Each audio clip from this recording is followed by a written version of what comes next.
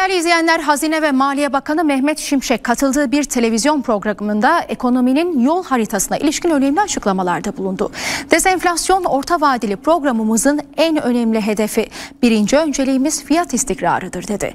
Enflasyon tahminlerindeki güncelleme sorusunu da yanıtladı Bakan Şimşek. Enflasyon hedefimizde iddialı bulanlar olabilir. Biz mümkün olduğunca o an itibarıyla en gerçekçi rakamları ortaya koymaya çalıştık diye konuştu. Programa baktığınız zaman programın yani bir dezenflasyon ayağı var. Evet. Bir e, mali disiplin ayağı var. Bir yapısal dönüşüm ayağı var. Tabii bunları destekleyecek bir de dış kaynak ayağı olacak. Biz tabii e, uzun süre kur tutulmuş.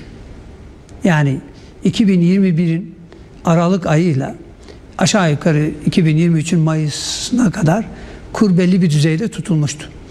E, biz kuru serbest bıraktık. E, çünkü e, bir taraftan e, rasyonel politikalar diyeceğiz sonra kura müdahale bu doğru değil. E, kuru serbest bıraktık. Tabii kur etkisi var. Evet. E, bu sürekli değişen bir husus. Kurdaki geçişkenlik, orada modeller var, varsayımlar var. E, tabii ki e, model varsayımlarıyla realite bazen uyuşmayabiliyor. Açık konuşuyorum. E, geçişkenlik zamanla azalacak. Merkez Bankası Başkanı Hafize Gaye Erkan bankacılarla bir araya geldi. Orta vadeli programın ardından ilk kez bankacılık sektörünün yetkilileriyle görüştü Erkan. Türk lirası cinsi kalemlerin ağırlıklarının arttırılacağını vurguladı.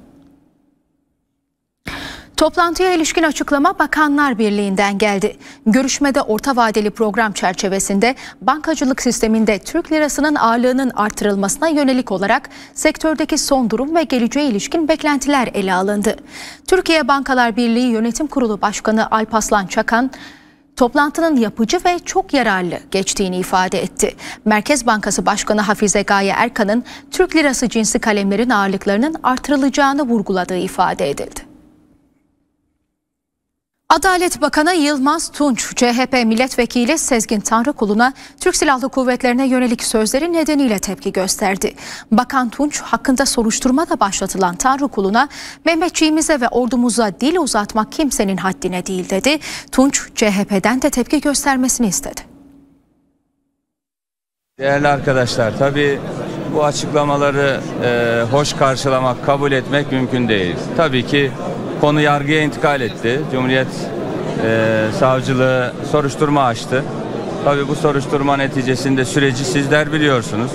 Bu noktada e, bu soruşturmayla ilgili olarak özellikle fezleke e, Türkiye Büyük Millet Meclisi'nin gündemine gelir. Anayasa Komisyonu'nda görüşülür. Açıklamaları kabul etmek mümkün değil. Burada Mehmetçiğimize dil uzatmak, geçmişte de bunlar yapıldı maalesef. E, ordumuza dil, dil uzatmak, bu şekilde suçlamalarda bulunmak e, hiç kimseye yakışmaz. Hiçbir vatandaşımıza yakışmaz. Hele hele milletvekili sıfatını e, taşıyan birisine hiç yakışmaz. Burada kendi partisi de bir tepki koyması gerekir. Bu anlamda e, zaten gerekli soruşturma süreci de başlamış. Bundan sonraki süreçte o soruşturma sürecinin e, Türkiye Büyük Millet Meclisi'ne intikalinden sonraki süreçte on, orası tabii ki meclisimizin takdirindedir.